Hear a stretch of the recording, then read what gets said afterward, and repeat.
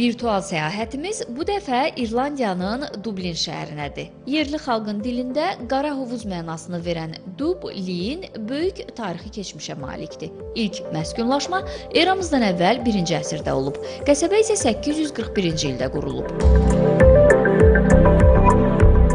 Paytaxtdakı Liffey çayı şəhəri şimal və cənub hissəyə bölür. Çayın üzərində çoxlu körpülər var.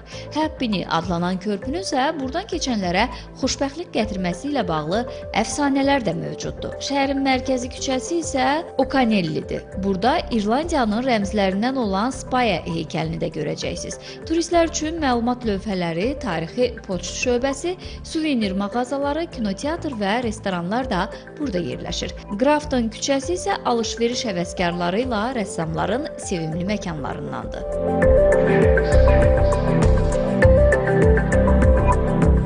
Trinity Kolleci dünyanın ən yaxşı 100 universitetindən biridir. Əsası 1592-ci ildə qoyulan bu məktəbi ziyarət etmədən ayrılmayın. Belə tarixi məkanlardan biri də 200 mindən çox əsərin saxlanıldığı köhnə kitabxanadır.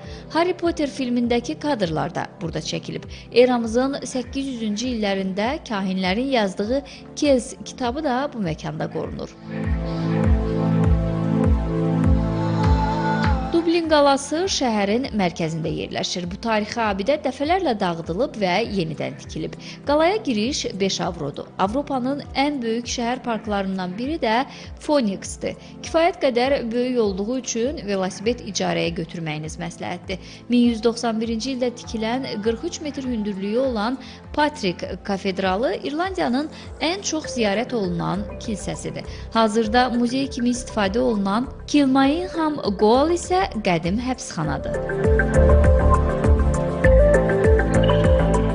Mətbəxinə gəlincə kartof və yaxşı bişmiş ət üstünlük təşkil edir. Şamp, kottec piroqu ən məşhur təamlarındandır. Duzlu dondurmanı da dadmağa dəyər. Dublində evlərin sayı az olduğundan kirayə haqqları bahadır. Münasib qiymətə hostellərdə də qalmaq mümkündür. Getməzdən əvvəl büdcənizə uyğun seçim edin. Şəhərin iqliminə gəlincə qışı mülayim, yayı sərin keçir. Bakıdan Dublinə uçuş biletləri isə təxminən 200-800 manat arasında dəyişir.